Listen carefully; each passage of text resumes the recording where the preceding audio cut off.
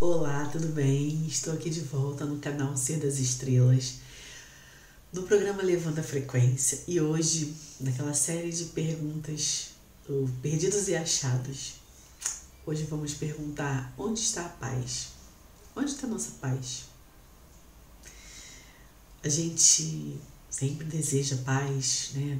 Paz para o planeta, paz para os povos, para os países, para as pessoas para nossa vida, né? A gente quer viver em paz, eu quero viver em paz. Desde que até as crianças já falam, né? Me deixa em paz. Eu quero ficar em paz. E aí, quando a gente vê essa pergunta, né? Principalmente criança falando, falando assim, você já, já mata logo, né? Onde é que está a paz? Né? Porque se a gente tirar tudo que é externo,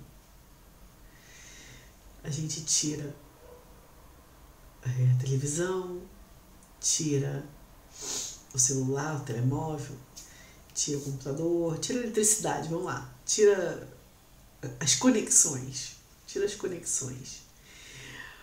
É, tira as pessoas ok? Vamos lá.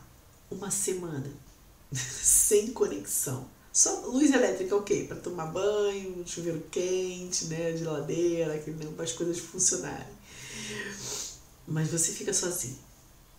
Não tem influência externa. E você não pode, não encontra ninguém. Puf, não encontra ninguém. Só você. Ok? Você encontra paz? A paz está ali, está em sua volta agora. Você vai ficar em paz durante uma semana? Boa pergunta, né? Então, é, a, a, ausência de paz, a gente diz que normalmente a gente costuma, como a criança, falar, me deixa em paz. É alguém não perturbar, não, não, não é, não atrapalhar o que ela está querendo fazer. Né? Então não me atrapalha. Nossa, se você não me atrapalhar, eu estou em paz. Né? Só que é muito mais profundo que isso. Né? É muito mais profundo que isso. Porque tem algumas coisas que a gente não vai tirar. A gente não vai tirar. Porque está dentro da gente. Né? Se não tiver ninguém para falar, ninguém para ouvir, tiver um silêncio total, a, a falta de interação com o externo, talvez piore a situação né, da busca da paz. Agora mesmo que o sujeito não está em paz. Por quê? Porque tem muita coisa acontecendo dentro, né? Que está soterrando essa paz. Que está ali encobrindo essa paz, né? Então a gente é condicionado desde muito cedo, desde pequenininho, a Pode, não pode, tem que isso, tem que aquilo, tem que isso, tem que lá, tem que aquilo. E a gente vai se condicionando. E ali vai aquela, aquela briga, né? Aquela disputa ali, tipo, eu quero, não pode, não sei o que, não, não, não. Aí a gente vai crescendo, vai aprendendo,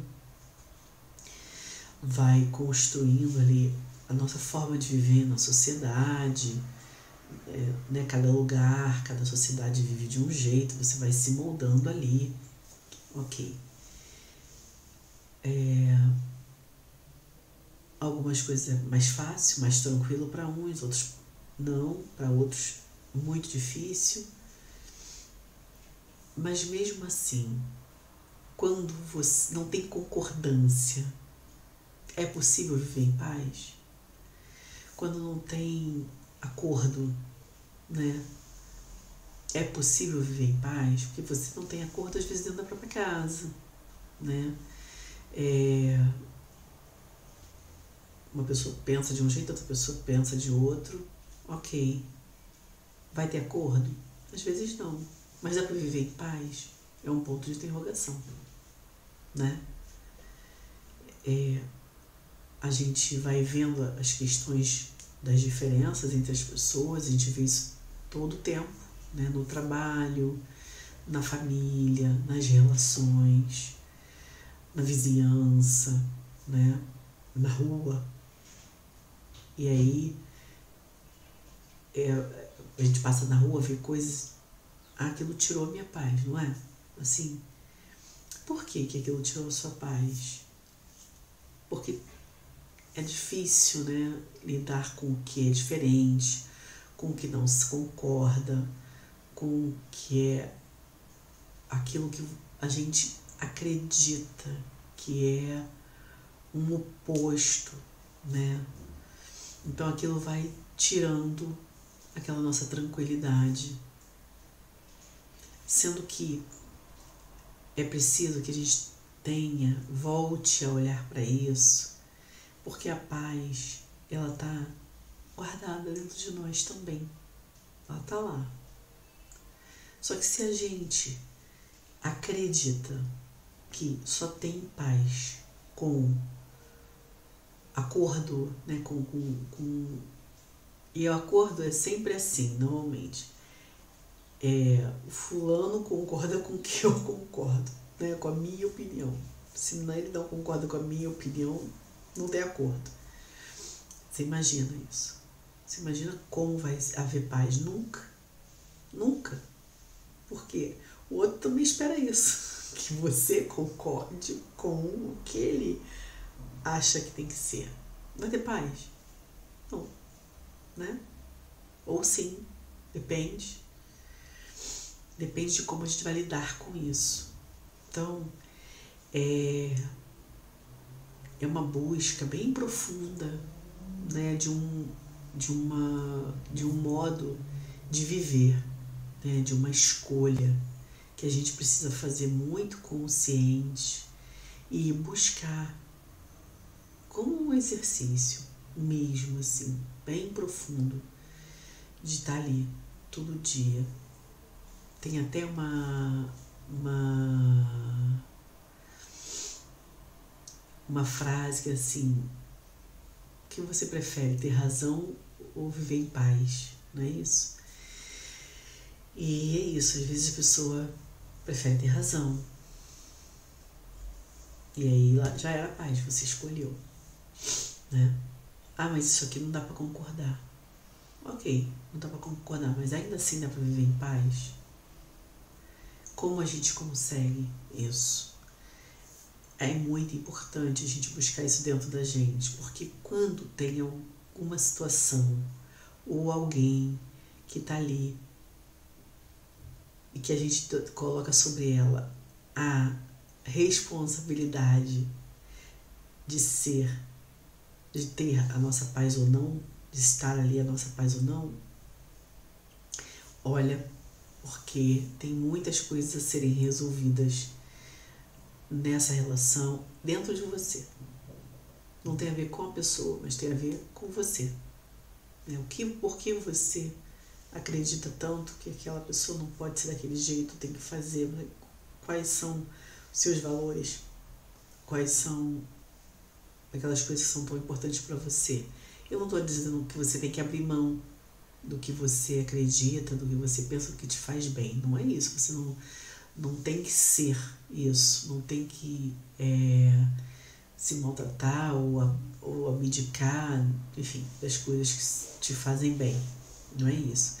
Mas é o quanto você vai escolher também viver em paz. E aí não precisa viver também com as pessoas, com aquelas pessoas conviver. Você pode escolher em nome da sua paz viver uma outra coisa, uma outra experiência, né? Ó, não dá para ficar junto, não dá para viver no mesmo lugar, não dá pra trabalhar no mesmo lugar, que não dá para ficar em paz, porque é muito desafiador, ok. Mas sempre olhar para o que é aquilo dentro de você porque senão essas situações vão voltar a se repetir de uma outra forma com outras pessoas. É assim, é como se você eh, tivesse uma experiência ali e, e aí é, vou, vou dar um exemplo da escola. A professora deu um texto, você vai ter que fazer a interpretação do texto, ok? Você leu, respondeu as perguntas e mais da metade estava errado. Você não entendeu. E a professora foi lá, corrigiu, você ficou frustrado porque você não entendeu, a professora pontuou lá as coisas que você leu, que você não compreendeu no texto. E você vai ter que treinar a interpretação de texto, né? A professora vai dar o mesmo texto para você? Não. Ela vai dar outro texto, não é? Para você treinar. E mais outro, e mais outro. E você vai ter várias oportunidades de treinar interpretação do texto, responder as perguntas do que você entendeu naquele texto, não é? Então, a vida também faz assim. Ela te dá uma situação. Você aprendeu? Não. Então ela vai te dar outra. Igual? Não. Não. Ela vai botar outros personagens, entendeu? Ela vai colocar. Para ver se você entende. Porque se você não entendeu aquele, você pode ter oportunidade de entender outro. Então, você não entendeu aquele texto, você vai ter oportunidade de entender outro texto. Você vai treinar com outro texto. Não precisa repetir aquele. Porque aquele você não entendeu, né? É a mesma coisa. Então, a vida vai dar pra gente oportunidade da gente refazer, reaprender com outros personagens, outras situações, aí pode ser outro trabalho, enfim, outro relacionamento, outras pessoas na sua vida que vão te mostrar ali. E aí você vai buscar e vai ver, ah, agora tá, agora entendi. Ah, ok. Aí se você aprendeu, você não precisa mais ficar fazendo aquilo que você já aprendeu. Vai fazer outra coisa mais avançada, né? Digamos assim. É, então, se você não aprende a se relacionar né, com você mesmo, a entender dentro de você o que está, qual é a questão, você vai voltar aprender aquela mesma. Então, às vezes, a gente passa a vida em, em alguma área da nossa vida subindo e descendo. E a gente não. Parece que não caminha, né? Aquilo tá sempre tipo aquela pedrinha no sapato. Enquanto outras áreas a gente vai bem. Ok. Mas tem, de repente, alguma coisinha ali que tá sempre pegando, tá sempre pegando, tá sempre pegando. Vamos olhar. Que ali você considera. Aqui não tenho paz nesse negócio. Vamos olhar para isso, né? Uma coisa que é muito importante é a gente silenciar, a gente voltar para dentro, olhar para nós.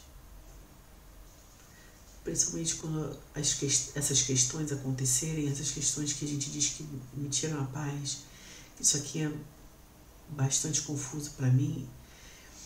É, e pode nem ser uma questão com outro, pode ser consigo mesmo, tá? Uma questão sua, interna ali. Isso tira a minha paz.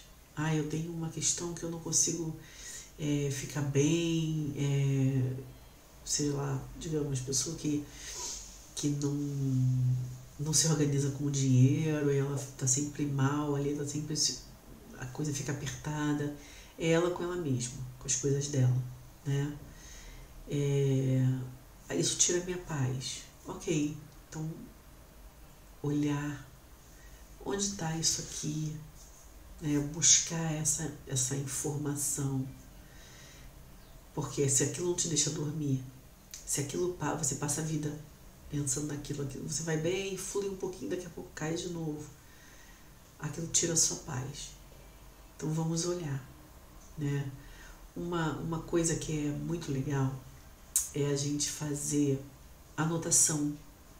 A gente pode anotar, pega um caderno, folha, qualquer coisa, e anota é, quais são as coisas que, que a gente que assim que a gente está é, tipo enumerar né enumerar as minhas dores vou enumerar as minhas coisas que, que pegam para mim né e aí vai colocando ali ah isso aqui, o que me faz hoje sofrer, o que me faz não estar em paz. Faz, escreve. Escreve num papel. É, para que escrever, né? Porque aquilo tira da, daquela confusão da cabeça e bota ali no papel. Então aquilo já dá um, um certo é como se aquilo tirasse um peso, deixasse uma coisa mais impessoal ali, que você pudesse manobrar, sabe? Enquanto tá aqui no campo das ideias, você às vezes fica ali meio confuso. Bota no papel objetivamente, escreve. Isso aqui, isso aqui, não tô me, isso aqui é um, um sofrimento que eu tenho. Ah, isso aqui é um, né? Isso aqui não é legal. Isso aqui, isso aqui, isso aqui.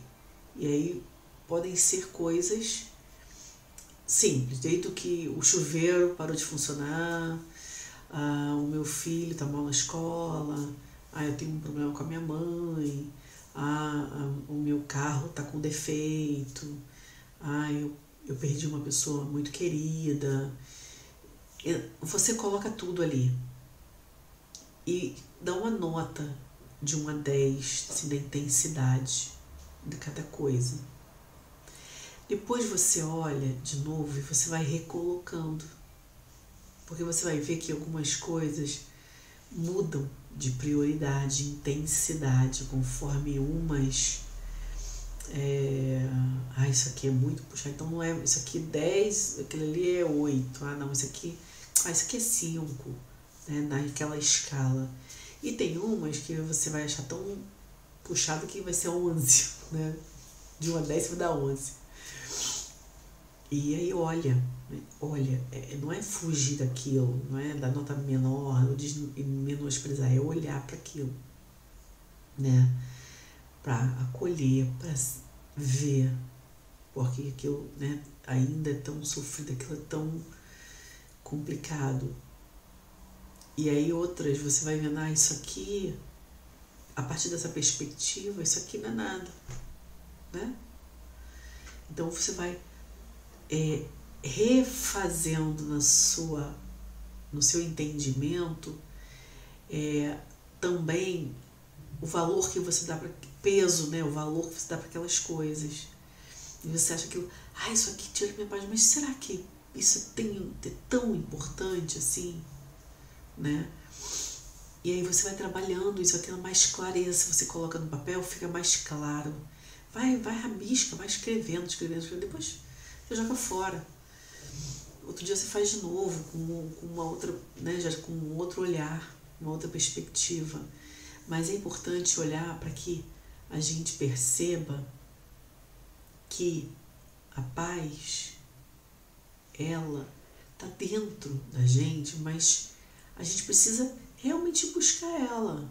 A gente não está hum, né, acostumado, a gente está acostumado a, a achar que é tudo tudo é, tá fora, né? Tá tudo isso, aquilo, aquilo invade, a gente vai permitindo aquilo invadir a gente. E você ouve uma notícia no rádio, pô, acabou com o meu dia. Mas, cara, sério? Acabou com o seu dia, né? E aí o resto do seu dia? É que as coisas boas que você vai viver, que você, você acabou de encontrar alguém super legal.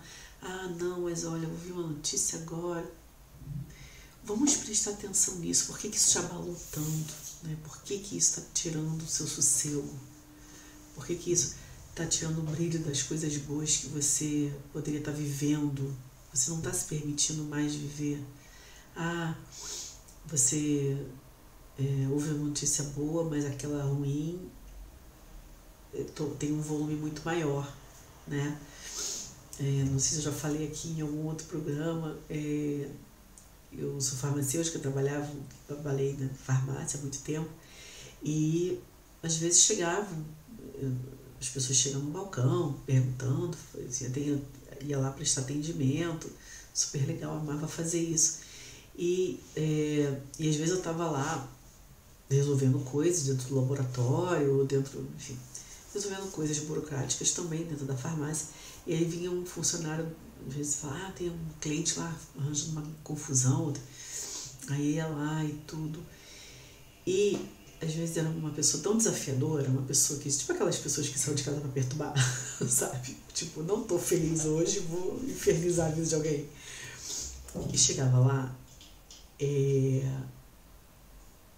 perturbava. Aí a gente chega e resolver, né? Resolve, vamos lá, resolve, resolve. Bom, tem gente que resolve. Aí eu, eu percebia que a equipe toda ficava muito estressada, estragava o dia de todo mundo. eu comecei a prestar muita atenção naquilo. Eu falei, gente, é porque para mim era pontual. O sujeito saiu, acabou, acabou. Às vezes ficava aquele mal-estar. Tem, tem gente que é bem desafiadora, né? Até ameaça, é meio complicado. Mas assim, é, eu sentia o clima, o clima ficava bem pesado. Durante boa parte do dia, eu fui tentar. Aí comecei a falar com o pessoal, gente, olha só. É, todos os clientes que entraram aqui hoje, saíram, compraram, tem gente que não falou nada, tem gente que só pegou, foi lá, foi embora. Tem gente que foi legal, tem gente que contou uma história, teve coisa engraçada. Mas um único sujeito que chegou aqui perturbando o juízo, né? Uma criatura que estava a fim de perturbar. Acabou com o dia de todo mundo? Como assim? A gente vai se permitir. Então eu fui trazendo assim, olha, eu não, nem, não tinha nem essa consciência que eu tenho hoje, mas eu achava tão interessante, porque assim, uma pessoa era suficiente para pulverizar, assim, sabe, a, a, paz de todo mundo, o sossego acabou. No final, todo mundo estava bem feliz. Fica todo mundo aborrecido, dia pesado. falei, gente, olha para isso, né? É só. É, é, o, todos os outros 100 clientes que entraram aqui não serviram de nada. Todas as pessoas foram legais. Todas as pessoas, às vezes, foram até invisíveis. Né? Vai deixar um alterar. Então é esse olhar que a gente precisa ter, buscar, né? Porque senão a gente vai sempre achar que não tem paz, não, não existe paz. Paz é uma utopia. E não é. A paz está dentro da gente, a gente pode inclusive andar com ela, assim, ó. Eu estou em paz. Eu sou a paz. Eu sou essa paz. E eu escolho ficar aqui. O sujeito vem, ele discorda, ok, discorda, tá tudo bem. Ele quer brigar naquela história quando um não quer, dois não brigam. São esses ditadinhos que vão dando uns uns exemplos assim pra gente. O, o, sei lá, você está num lugar, a pessoa fez uma coisa, você não gostou, mas como você vai reagir? Né? Quando a gente começa a buscar viver essa paz dentro da gente, a gente consegue, a gente vai treinando, a gente consegue olhar e falar assim, ah tá, tá bom, a gente vai gritar, deixa ele gritar. Ele não está em paz, mas eu tô. Fazer esse exercício. Uma coisa muito importante, que é uma técnica que todo mundo fala há muito tempo, que, né, que a gente não dá atenção, é parar, silenciar, respirar, meditar, que aí você sempre fala aqui, meditar é uma coisa que a gente é, também tem uma crença de que tem que sentar lá, ficar com a coluna ereta, perna assim, não aguento, dói tudo. Não é assim. A gente pode fazer isso de milhares de formas, não existe. Existem mindfulness, né, que é a meditação ativa, você está ali fazendo, prestar atenção tempo todo no presente. Então, assim, tem várias formas de fazer. Mas, assim, parar, respirar, trazer a tranquilidade né? Fazer a respiração, o próprio movimento de respirar tranquilamente, ele é fisiologicamente é feito para isso, para trazer a calma, para voltar com tudo para o lugar de paz, de tranquilidade, inclusive a produção dos nossos hormônios, tudo passa a funcionar de uma outra forma quando a gente fica respira. A própria respiração já é um comando para o nosso corpo todo, para toda a nossa fisiologia. Passa a funcionar tudo dentro da gente de forma diferente. Só quando a gente começa a respirar. Entrar em um momento de tranquilidade. Tudo muda dentro da gente, fisiologicamente. Tudo, tudo, tudo. Então, é para isso que a gente pode usar É um mecanismo fisiológico que te grande presença nesse corpo maravilhoso da vida, né? Então, senta.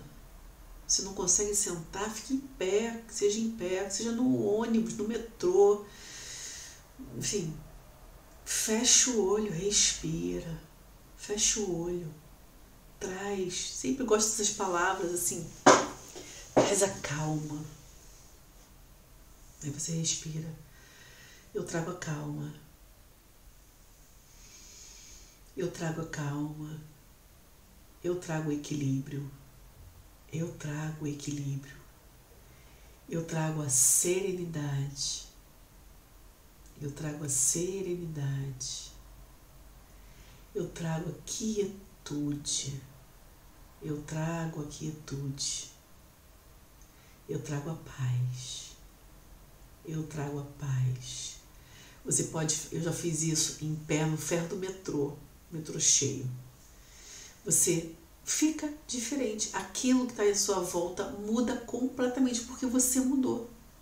E você consegue ficar em paz, mesmo as coisas à tua volta acontecendo. Né?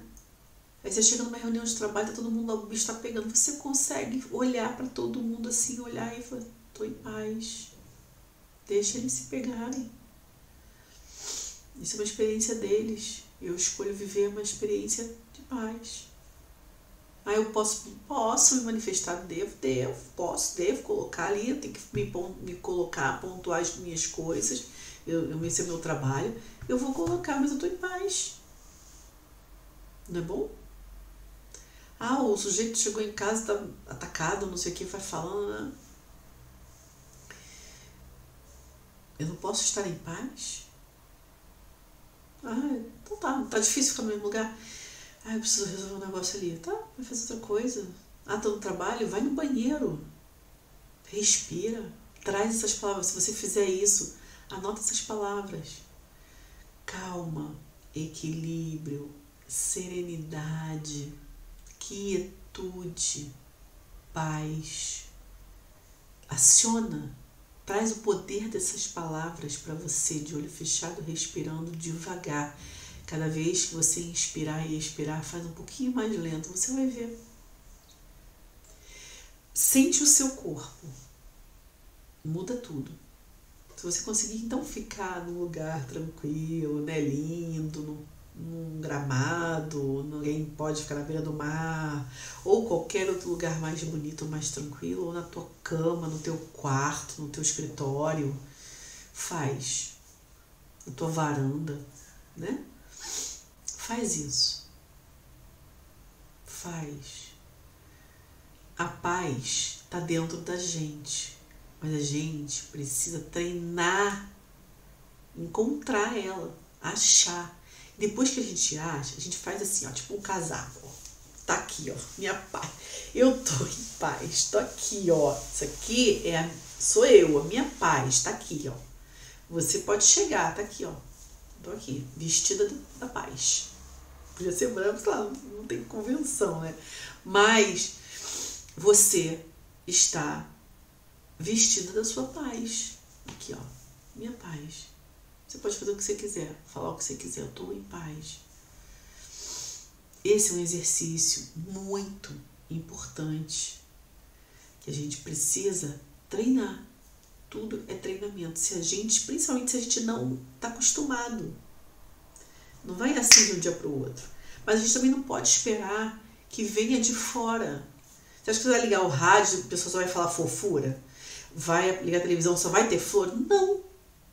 Porque nunca foi e vai demorar um tempo para deixar de ser, né? Então, busque dentro de você e se afaste do que aqui, daquilo que também não te, não te, não te conecta, né? Aquilo que não é legal para você, você não precisa ficar ali mergulhado, imerso naquilo. Dá uma volta. Ah, esse, esse programa não é legal para mim. Pô, dá uma volta ah, não quero assistir, vou fazer outra coisa, vou ler.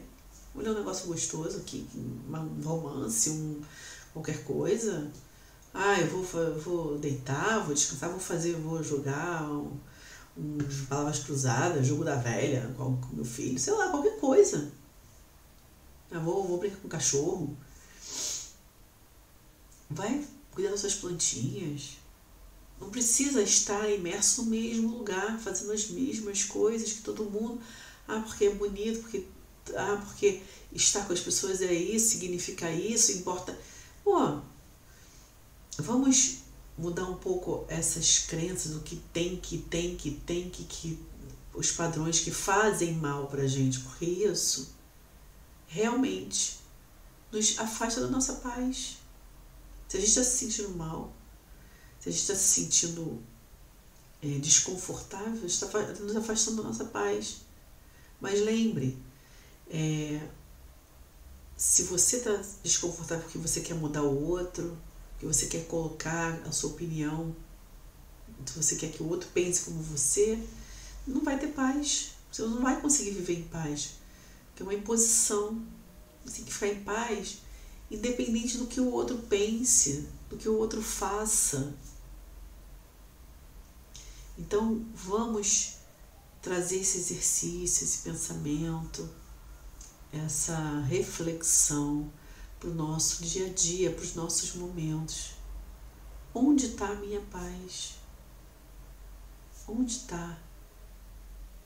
Ela está aqui, eu vou pegar ela, eu vou colocar aqui, ó. Vou assim, ó, tá aqui comigo, ó. Minha paz. Eu sou ela, eu sou a paz. E tá tudo bem. Ou não, ah não, a paz vem de fora. A paz vai vir quando acontecer isso, quando acontecer aquilo. Não é assim, não vem. A paz não vem de fora. A paz vem da gente. Mesmo nas situações mais loucas, diferentes, devastadoras, difíceis, a paz está dentro de nós. É a gente que aciona ela. Então, fica aqui o convite. Faça esse exercício, anote essas palavrinhas e traga por alguns momentos que seja, alguns segundos, feche seus olhos e traga para você a vibração dessas palavras e sinta, sinta de verdade, diminua o ritmo da sua respiração e você vai ver a diferença. Faça isso, faça isso todos os dias, nos momentos, todos os momentos que você achar. Você vai ver que faz isso uma vez agora, quando terminar aqui, faz. Conta quantos segundos demora isso. Não demora um minuto. E aí você pode, aí você vai ver que você pode fazer isso em qualquer lugar, até no banheiro. Começou, o tererê começou a acontecer, você vai para o banheiro, faz lá volta. Volta diferente, porque o seu corpo já está diferente. Tá tudo funcionando diferente aqui. Mas é uma escolha sua. Ninguém vai fazer isso por você. É só você. Tá bom? Então, encontre aí a sua paz. Esteja com ela. Seja ela.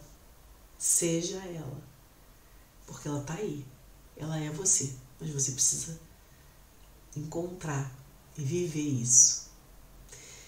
Compartilhe esse vídeo se você gostou, se você acha que pode ser contribuição para alguma pessoa. E se inscreve aqui no canal, que tem conteúdos lindos, maravilhosos, que também contribuem muito para a nossa vida. E se inscreve. E na próxima segunda-feira estarei aqui de novo. Um grande beijo. Tchau, tchau. Fiquem em paz.